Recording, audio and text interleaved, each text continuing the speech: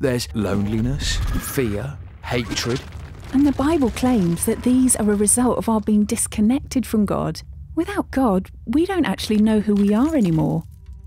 But at the centre of the Bible story is Jesus. 及时关注今日报最新影片，欢迎订阅我们，并且打开小铃铛通知提醒。您的支持是我们最大的鼓励。You know, one of the worst feelings imaginable is the feeling of being alone.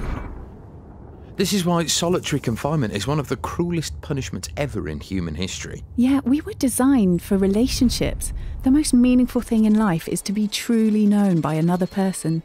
But this can actually be kind of scary too. I mean, what if I let people down? Or what if, when someone learns who I really am, they'll realise they can't really love me? I mean, how are we supposed to really find meaningful relationships? And so the Bible speaks to all of this. It says that God created the world in order to share with us the beauty of existence. God's desire for us is to have significant friendships, to be part of families, to create things, and to share our work with others. And all the while depending on God as our source of love and life. But here's the thing there's so many barriers to that. There's loneliness, fear, hatred. And the Bible claims that these are a result of our being disconnected from God.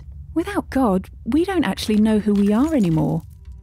But at the centre of the Bible story is Jesus, who wants to bring us back into a relationship with God. Jesus claimed that God loves us for who we are, and that He calls us to a relationship with Him despite our failures. And when you realise how loved you are by God, that He is not ashamed of you, it changes everything. It gives you a source of love that is not your own. So, the story of the Bible is calling us into the most important relationship. Yeah, it's calling us to know and be known by the Creator God Himself.